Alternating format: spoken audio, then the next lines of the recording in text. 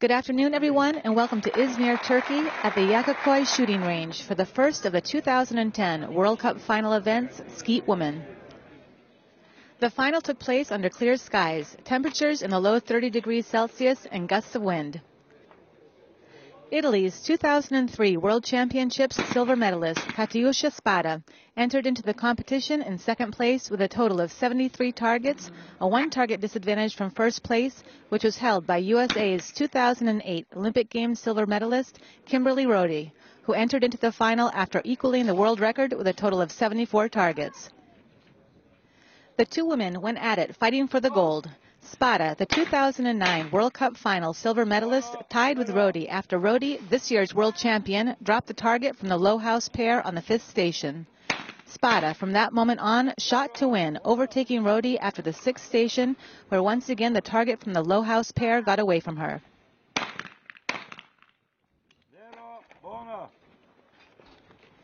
Spada finishing, winning her first World Cup final gold medal with a total of 96 targets to the cheers of her coach, teammates, and fans. Rhode finished on the second highest step of the podium with a silver medal with a total of 95 targets.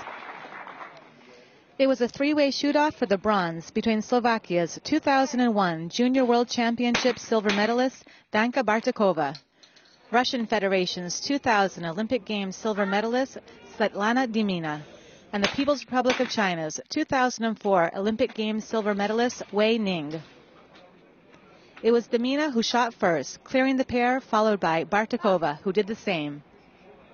Wei was the first to miss, finishing in fifth place with a total of 94 plus one targets.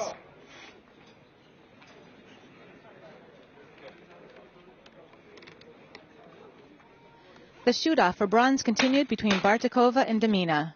Bartekova, the 2006 World Cup final silver medalist, zeroed in and grabbed the bronze medal, overtaking Demina with a total of 94 plus 4 targets. Fourth place went to Demina with a total of 94 plus 4 targets. And sixth place went to Italy's 2008 Olympic Games gold medalist, Chiara Cainero, with a total of 91 targets.